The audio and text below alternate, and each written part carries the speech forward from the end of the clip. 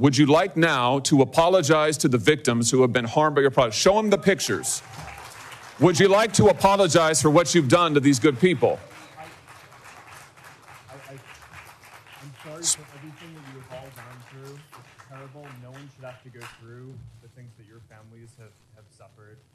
And this is why we invest so much and are going to continue doing industry leading efforts to, uh, to make sure that no one has to go through the types of things that your families have had to suffer.